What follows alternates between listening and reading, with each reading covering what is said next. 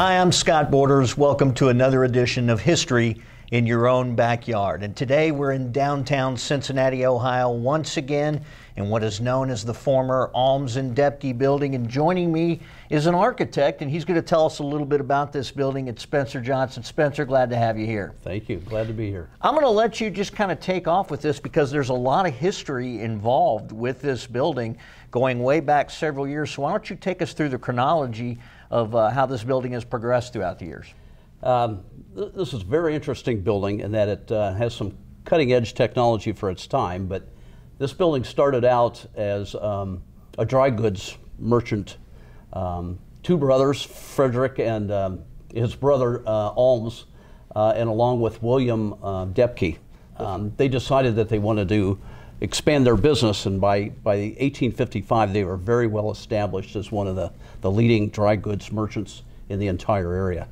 So at that point in time, they decided um, they were going to be a little different from the standard. Um, in front of the building on the south side is the um, where the Miami Erie Canal used to be, um, and all of the central business operations in Cincinnati were all at that time south of the canal. Uh, and Doepke, the three of them decided they were going to break that trend, and they were going to develop on this side, which is considered over the Rhine, which at that time was largely um, warehouses and first and second generation German residences. So they had were ahead of their time in actually catering to the middle class, and which I guess you'd say the lower middle class. So they decided to build their operation here. Um, so the, the major portions of this building were originally designed in uh, 1868. Um, they decided to team up with Samuel Hannaford um, of Hannaford and Proctor, a very, very prominent architectural firm here in Cincinnati. They also did Music Hall, they did 800 Broadway, uh, they did City Hall, very, very prominent structures here. Um, so the first portion of the building was constructed in 1874, um, and their operation continued to boom. Um, so they did uh, successive additions after that. Um, the original building is all built of heavy load-bearing masonry with uh, two and a half by 15 inch wood joists, a very heavy, heavy-duty wood structure. Sure Uh, concrete, uh, not concrete, but cast iron columns, um, which would, you would consider the older uh, established technology at the time. Uh, additions were done then in um, 1890 and 1891, um, which consists of the red brick and limestone um, um, kind of French second imperial sort of um, design standard of its time with the heavy mansard roofs, um, dormers, uh, very unique look to itself. Um, actually, kind of has a checkerboard effect with the red brick and the limestone. Very distinctive looking. Uh, then there was an addition done in 1906 by the architect uh, Daniel Burnham. So the, the department store continued to flourish at the time as Over the Rhine continued to develop. Uh, but by 1955, Alms and Doepke were out of business, and uh, the building closed. Uh, there was some question about who the ownership of the building was at the time, and then um, whoever became the owner at that time decided to try to renovate the building to use for office space. And at that time, Hamilton County came in and began to rent the space for municipal courts. So the county continued to use the space for municipal courts um, until sometime in the 1990s when the county decided to buy the building and do a complete renovation. And at that time, the entire building was gutted on the inside. Uh, all the abatement was done to remove any asbestos containing materials. So in 1995, the county moved in as uh, their own owner, and the Jobs and Family Services moved in and had it's taken over the entire building. Uh, the building is um, just about 300,000 gross square feet of space. My, my experience with the building started in the, um, the late 1990s. Um, and I did a, as I mentioned earlier, an exterior renovation where we coated all the brick because the earlier portions of the building have very soft brick. And so we've been coating those to keep those lasting as long as we can. Kind of through the elements and everything. Correct. Also, there's some of the bricks tend to break or chip or whatever. We replace them as we can and keep it coated. Spencer, it's my understanding that uh, this area of Cincinnati is absolutely infiltrated with tunnels.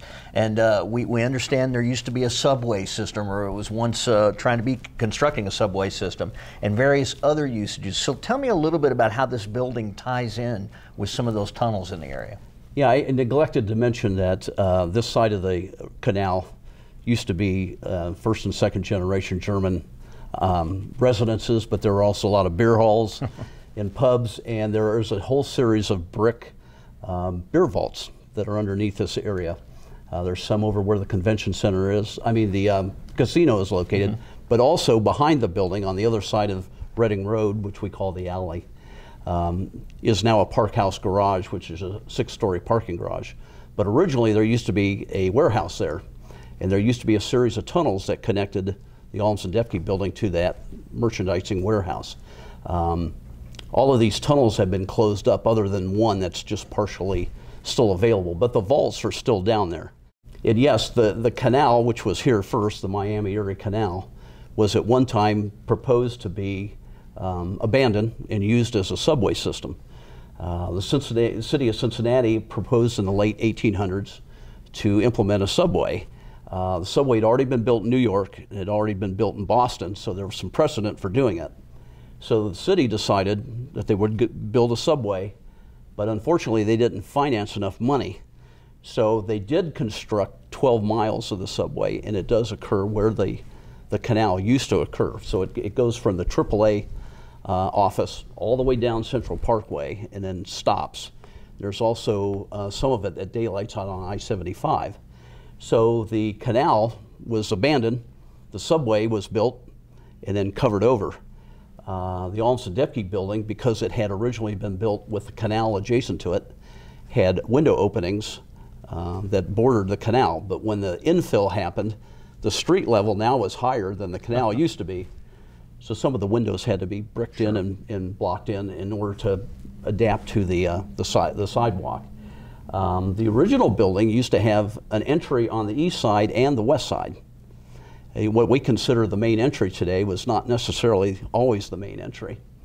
And actually, the building somewhat fronted to the back side because it was dealing with the residences that lived on what would be the north side. Now, obviously, the main entry is from the south side of the building. And as a matter of fact, there's an ornate, ornate clock that's on the uh, southeast side of the building. Used to be on the, the northeast side. It was moved when the renovation was done.